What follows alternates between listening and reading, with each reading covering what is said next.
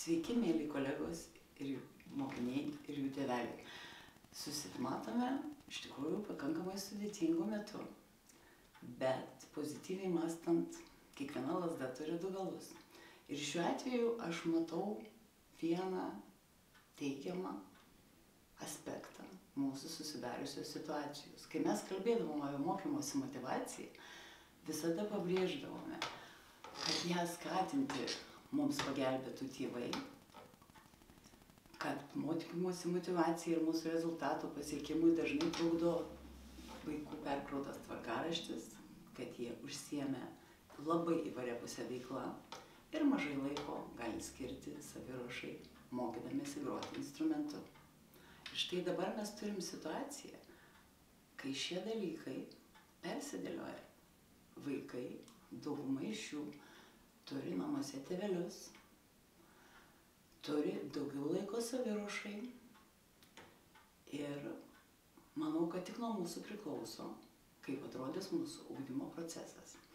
Turime be galo geras sąlygas dirbti distanciniu būdu ir aš labai tikiuosi, kad mes visi sugebėsim jomis pasinaudoti.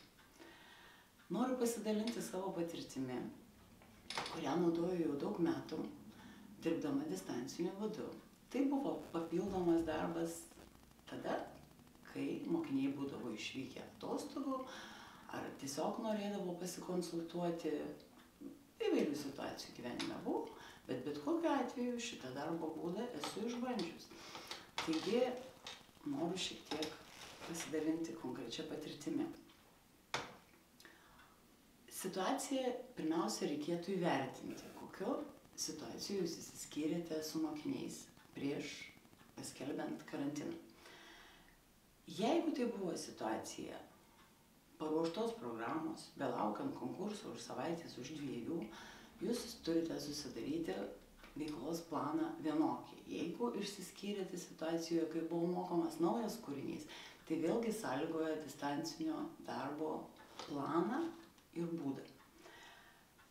Pirmiausia, rekomenduočiau pradėti nuo situacijos analizės ir didžiulis kūrybiškas darbas laukia mūsų pačių.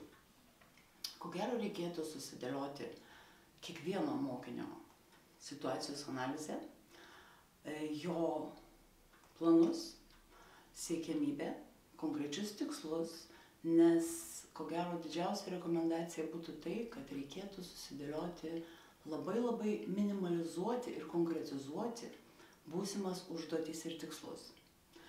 Jeigu galima buvo sauliaisti daug laisvės dirbant klasėje, tiesiog orientuotis pagal tos dienos vaiko nuotaiką, jo, jo būseną, jo sveikatą, savijautą. Buvo daug veiksnių įtakojančių mūsų tiesioginį bendravimą.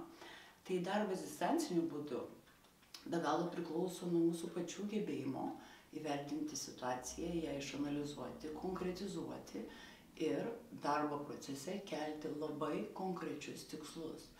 Savaitės tikslus, mėnesio tikslus, nes ko gero jau visi pradeda suprasti, kad karantinas nebus labai trumpas. Taigi, mano rekomenduotini būdų būdai būtų vienas online pamoka telefonu, paskui dar pakomentuosiu, kaip ją išskirstyti į kelis etapus. Ir kitas būdas yra tiesiog saviruošos kontrolė įrašų pagalba.